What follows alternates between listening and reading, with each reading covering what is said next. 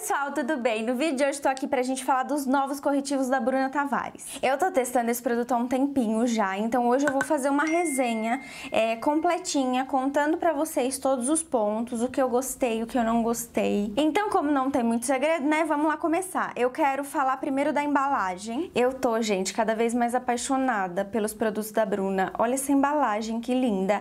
É uma embalagem de corretivo, mas assim, não é tradicional, não é pequenininha, ela é bem grande é. Inclusive, ó, se eu colocar o corretivo antigo dela do lado, vocês conseguem ver bem a diferença de tamanho. Esse é bem maior. E dá pra aplicar como corretivo ou como base também no rosto todo. Eu vou contar nesse vídeo pra vocês o jeito que eu tô usando. Aqui embaixo vem a cor, a validade. Eu tenho duas cores aqui, a M10 e a L20. Quando eu fui comprar, eu achei as duas cores bem parecidas. Essa é L20 e essa é M10. A L20 eu achei ela mais clara, um pouquinho mais rosada.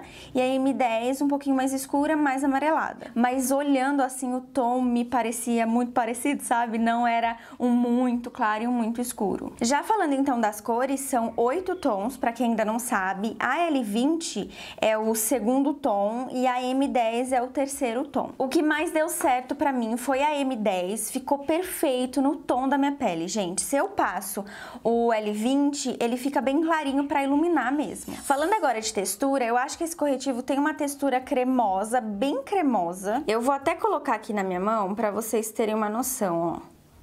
Tá vendo? Ele é bem cremosinho, mas é um negócio que espalha fácil, tá vendo? Esse aplicador maior também ajuda bastante. Vou colocar aqui do lado o corretivo antigo dela, que aí, gente, eu acho que ele é mais molinho, sabe? Olha a diferença de cor, esse é bem mais rosado, né? E aí eu trouxe um terceiro aqui pra comparar a textura com vocês, que é o da Tracta, que eu achei muito parecido com a textura do da Tracta, ó. Essas duas cores já se parecem mais, né? Mas a textura do da Tracta é muito parecida parecido com esse aqui. Peguei aqui então o M10, que é a minha cor, pra gente fazer a aplicação. E basicamente, gente, eu aplico assim, ó. Como eu falei, dá pra usar como corretivo e como base. No início eu tava usando por cima da base, fica incrível. Só que agora eu tô usando só ele mesmo. Porque eu quero a minha pele sem muito produto. Na última semana aqui em São Paulo fez bastante calor. E assim, minha filha, faz muito frio ou faz muito calor. Então eu tô tentando não passar tanto produto no rosto. Isso aqui ajuda demais. Como é que eu faço? Eu venho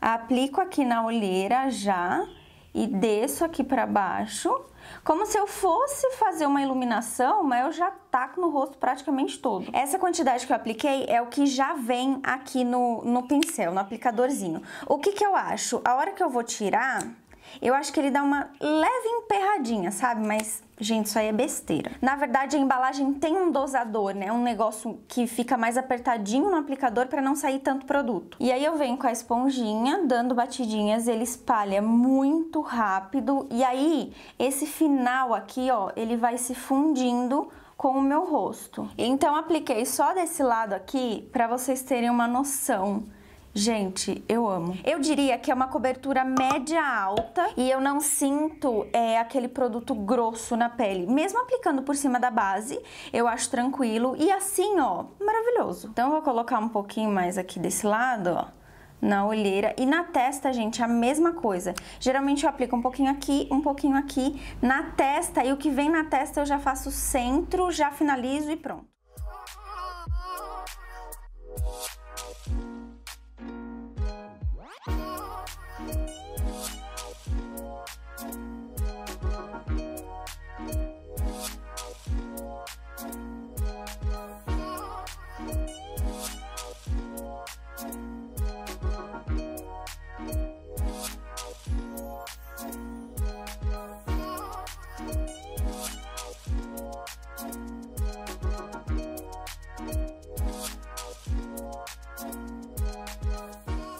Comecei a usar, eu falei, nossa, ótimo como corretivo, como base, acho que não vai rolar, vou gastar muito produto. E na verdade, não, eu tô amando usar só ele. E assim, gente, eu consigo ver a minha pele ainda embaixo desse produto. Então não é uma cobertura super alta 100%. Eu gosto muito é, de sentir que a minha pele tá super uniforme, mas que eu não tô com aquele monte de produto no rosto. Eu vou colocar aqui desse outro lado, só para vocês terem uma noção da diferença da cor. Na embalagem às vezes não dá pra saber, né? Esse L20, ele é bem claro e ele nem é o tom mais claro, tem um mais claro que ele ainda. Então aqui, ó, M10, que é a minha cor, e L20, que é um tom mais claro. Eu diria que na minha pele ele fica um mate leve, sabe? Aquele soft mate. O que ajuda também a não acumular tanto nas linhas de.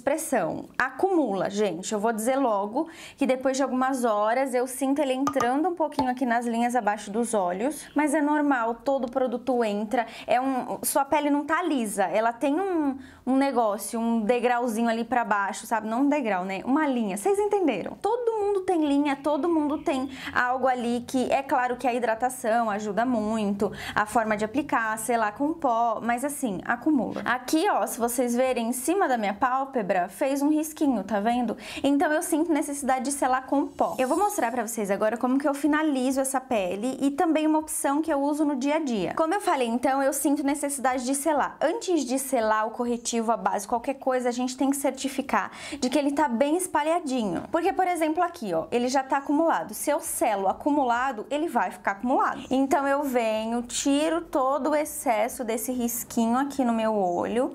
A hora que ele tá todo uniforme, eu venho selando com pó. O pó que eu tô usando é esse baratíssimo aqui da Dala, gente. Eu tô apaixonada nesse negócio. Por isso que eu falo, não precisa ser caro pra ter qualidade não, isso aqui é 12 reais. Então eu faço uma misturinha desse pó, 01 e 02. O 01 eu aplico aqui na olheira, porque ele é mais clarinho. Eu sinto que se eu venho com o 02 aqui, ele acaba escurecendo um pouco. Aí eu venho agora com o pincel grandão, o 02, e aplico assim, ó, só um pouquinho no rosto todo. É bem pouquinho, gente, porque na verdade o que me incomoda é aqui, ó, que acumula olheira e pálpebra. O resto não acumula muito, tipo aqui do lado, esse corretivo não acumula. Basicamente, eu uso corretivo, pó, blush, iluminador, máscara e corrige a sobrancelha. Isso porque o negócio é simples, né? E aí eu vou passar esse blushzinho da Oceane, que é lindo.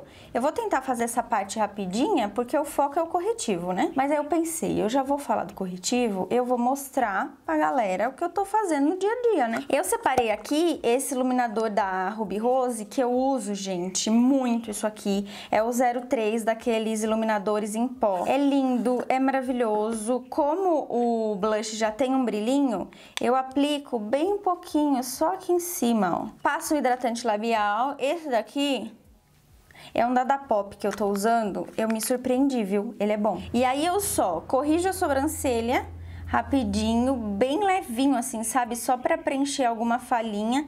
Na verdade, eu tenho mais falha aqui no finalzinho. Finalizei com essa máscara pink maravilhosa aqui da Ruby Rose. Eu amei demais esse lançamento. E o produto que eu usei na sobrancelha foi esse daqui da Kiss New York. Tá, e aí voltando a falar do corretivo, eu acho que falta eu contar pra vocês um pouco mais sobre a duração. Eu acho esse tópico de duração até um pouco delicado de falar, porque pra mim dura de um jeito, pra você vai durar de outro. Dependendo do tipo de pele, do clima, se tá calor, se tá frio. Por exemplo, no frio, obviamente que ele durava um pouco mais. No calor eu sinto que depois de algumas algumas horas eu tô com o nariz, a ponta do nariz oleosa e o queixo. Então eu diria para você que umas 6 horas ele dura perfeitamente no calorão, gente, de 35 graus na minha pele, mas eu chego a usar esse jeito aqui, esse corretivo, cerca de tipo 9, 10 horas, de boa. Então, como vocês puderam ver, eu não tive nenhum ponto negativo sobre esse produto. Uma coisa que eu mudaria é a questão da embalagem. A hora de sair, eu sinto que ela fica muito apertadinha. Aqui no site da TB Make, vocês encontram, gente, gente, acho que Renner,